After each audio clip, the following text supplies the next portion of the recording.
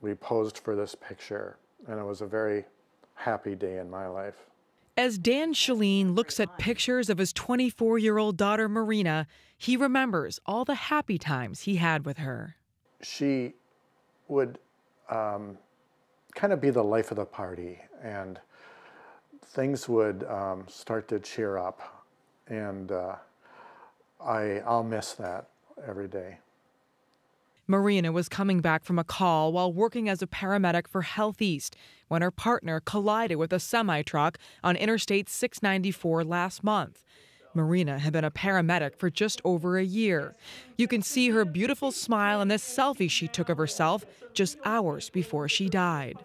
Her older sister, Miranda, says she loved helping others, often in their most frightening moments. There's no knowing how many lives that she saved. There's no knowing how many people, how many injuries might have gotten worse without her being there to transport people quickly. Miranda says the family was especially touched with the outpouring of support from the EMT community, as well as motorists who pulled over on the day of Marina's funeral to salute her. This flag will forever remind them of her selfless spirit.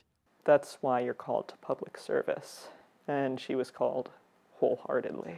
That looks super awesome, and I want to see it when it's all done. And I hope you guys have fun tomorrow. And you're both awesome, and I love you. Marina had a contagious smile and instantly became friends with everyone she met. Her stepmother, Linda, says she always looked for the good in people.